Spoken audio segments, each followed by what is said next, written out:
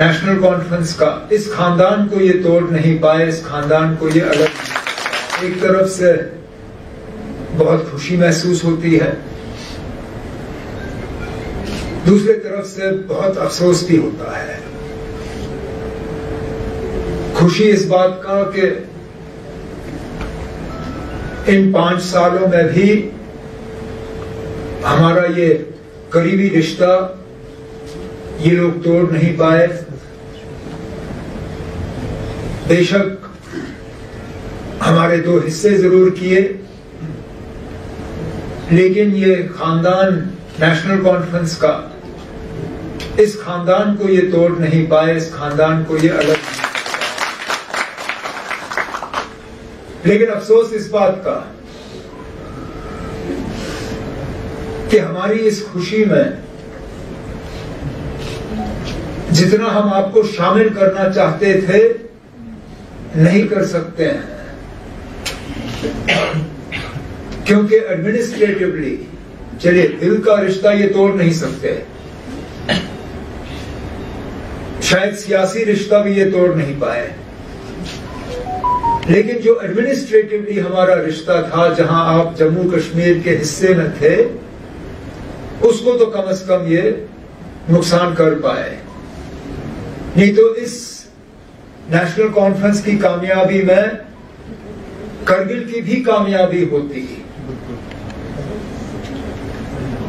जब हम सेक्रेटेरिएट में मिलते हैं इन दिनों, जब कैबिनेट की मीटिंग होती है, जब हम लेजिस्लेटिव पार्टी की मीटिंग करते हैं, और मैं दाएँ बाएँ अपने साथियों की तरफ़ देखता हूँ तो मुझे बार बार इस बात का एहसास होता है कि आप करगिल के साथ ही हमारे साथ बैठे नहीं हैं। और ये आपकी मंजूरी के बिना हुआ। अगर आपकी मंजूरी के साथ हुआ होता तो बात कुछ और होती। लेकिन जैसे कहा हनीफा साहब ने, सीसी साहब ने,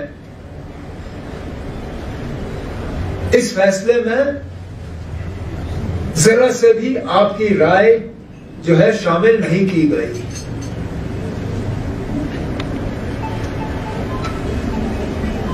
आज असेंबली के ज़रिए कोशिश की गई कि कम से कम यहाँ से एक ऐसी आवाज़ जाए जिससे कि दुनिया को पता चले कि जो हमारे साथ हुआ था 2019 में, वो हमारी राय हासिल किए बिना हुआ था। उस फैसले में हमें शामिल नहीं किया गया था। और हालाँकि असेंबली में आपका कोई नुमाइंदा था नहीं।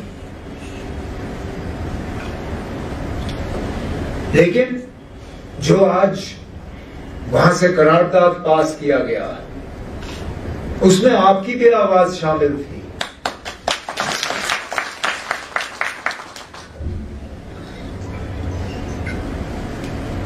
अब आगे जाके अल्लाह ताला का क्या करना होगा, कौन कह सकता है? क्योंकि अल्लाह ताला का जो, की जो मर्ज़ी होती है ना, वो हमें कभी कभी समझ नहीं आता। अब देखें दोनों यहाँ बैठे हैं। हाजी हनीफा जान साहब काउंसिल का इलेक्शन लड़ने निकले। नहीं जीत पाए। उस वक्त हनीफा साहब को लगा होगा कि अब मेरा अब रहा क्या?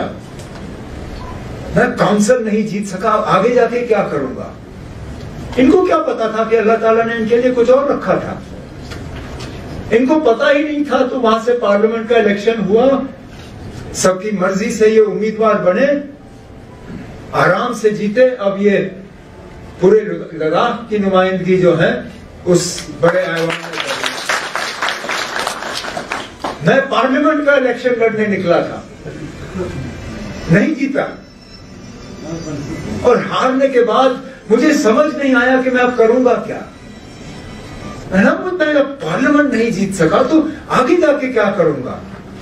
मुझे क्या पता था कि अल्लाह ताला ने मेरे लिए चंद महीने के बाद जम्मू कश्मीर के वज़ीर अला की ज़िम्मेदारी रखी